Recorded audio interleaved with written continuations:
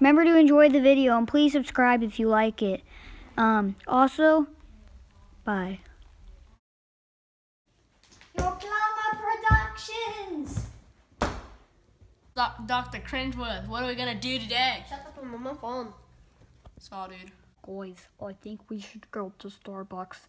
Yeah, man, Starbucks is really cool.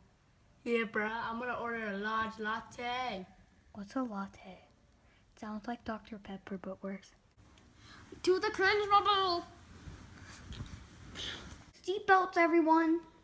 Seatbelts are for yellow bellies.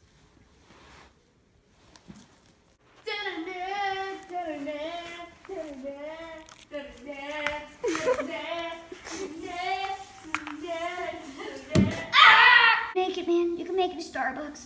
I'm not gonna make it. Order the latte without me. Well, you can. You you're gonna get up and order that latte, cause Starbucks is just right. Yo, bruh, can I have a medium rare latte? Uh, this isn't a steakhouse. Well, just just give me a latte. This isn't a steakhouse. Give me a steak. Here's your medium latte. Dude, why did you eat the freaking plastic Cup? Cause it was tasty, man.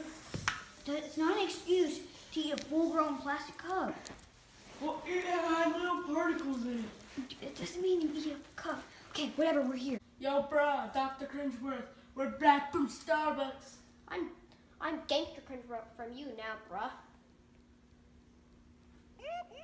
That's the sound of the police. That's the sound of the beast.